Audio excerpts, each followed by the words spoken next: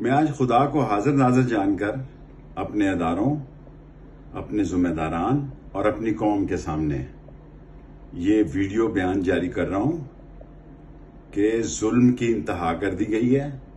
हमारे छोटे छोटे बच्चों को उठाया जा रहा है। 11 साल के सैयद ओन मोहम्मद को, हमारे दोस्तों को, दोस्तों की फैमिलियों को, जिनका कोई जुर्म नहीं।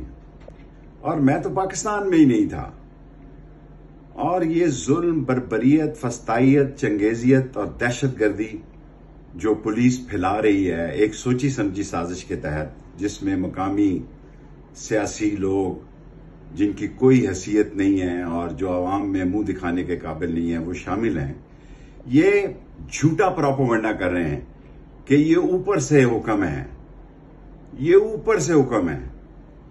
अल्लाह के फजल करम से सारी ज़िंदगी हम अदारों के साथ खड़े रहे हैं, पाकिस्तान की अजीम फौज के साथ खड़े रहे हैं।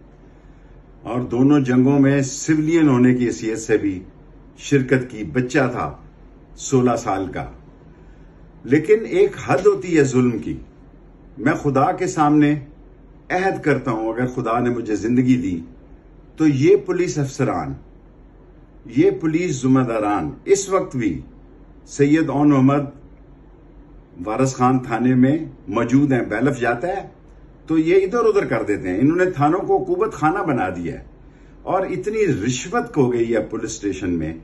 मैं अदारों को कहूँगा कि अपनी एजेंसीज को कहें कि ये एक नफरत का माहौल बनाया जा रहा है।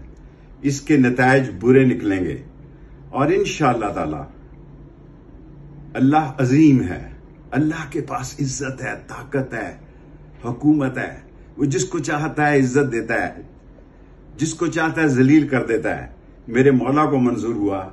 इन तमाम लोगों को, इन तमाम लोगों को मैं कानून के शिकंजे में लाऊँगा। ये ना समझे हमारे पास सारी वीडियोस हैं, किस तरह हमारे घरों को तोड़ा गया, हमारे फ़ोन, हमारी कैश, हमारी घड़ियाँ, सब कुछ ले जाओ। मैं तो यहाँ था ही नहीं पाकिस्तान में। सब कुछ ले जाओ, लेकिन एक बात याद रखो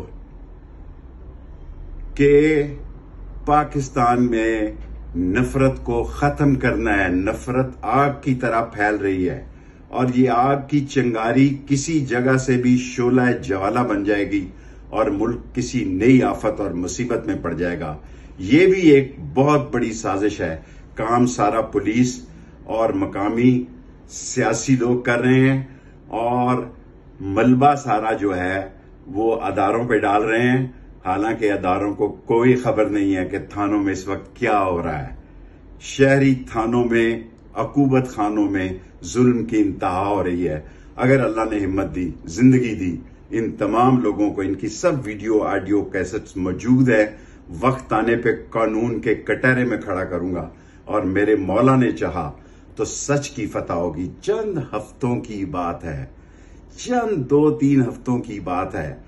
इसके बाद ये रात, ये जुल्म की रात खत्म होने जा रही है और इन ताला काला काला रसूल कालम बुलंद होगा और ला मोहम्मद रसूल का झंडा बुलंद होगा और ये जालिम शिकस्त खाएँगे और गरीबों की बदुआ पड़ेगी।